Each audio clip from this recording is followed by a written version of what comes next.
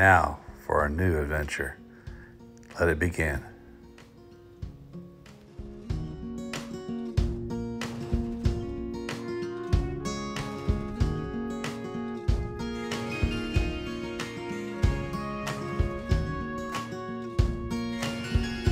Hello, hello, hello, everybody. How's it going? I know you may have thought I dropped off the face of the earth, but uh, to let you know, I'm a little wild here.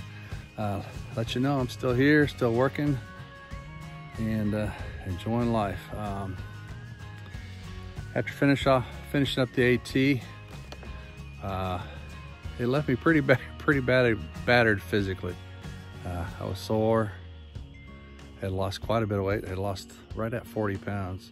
So I felt good, felt strong, but yet my body needed rest. So I've been resting over the holidays and enjoying the family and getting back in the swing of things. Uh, but I definitely miss hiking. Still been talking to Kilt and uh, reached out to GW a little bit, but I hadn't seen him a little bit. Uh, and Rob also. But uh, got some news for you. Um, getting back out on the trail.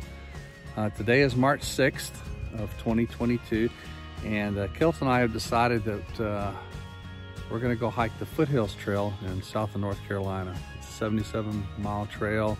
It's supposed to have a lot of good waterfalls. Um, just something to do to get, get the legs moving again. Uh, haven't done much, I've done a little treadmill work. Uh, ran my ran a 5K yesterday, so I'm, I'm doing okay. Not bad for fat man, but uh, looking to get back out on the trail. So on March, uh, looking at taking off on March 27th to meet, meet up with Kilt, and then we'll start hiking on that Monday of the 28th. Uh, we figure five, six, seven days, just depending on what we're gonna do. No, no big hurry, no big thing. Uh, getting some new equipment. Uh, Kilt's got some new stuff. But uh, then the next announcement will come after that. Well, I can go ahead and tell you now. Why not? Watch out, look. Um, him and I have decided to go ahead and do the Colorado Trail. Uh, we're going to take off, I think it's July the 20th. We're going to meet there in Colorado on July 21st and uh, and take off on the 20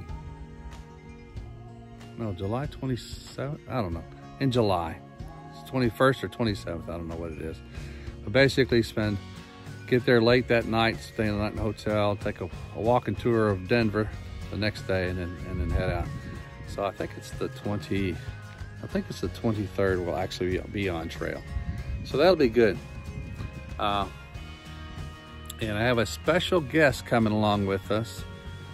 I might have two, but one with me that's family. So I'll introduce you whenever whenever we get get going. Uh, but it's my grandson.